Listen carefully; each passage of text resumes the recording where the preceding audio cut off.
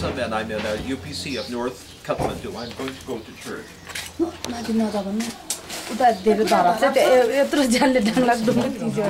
I wonder why there's no service. Oh, maybe because the earthquake knocked the building down. So please do help us to build a new church in North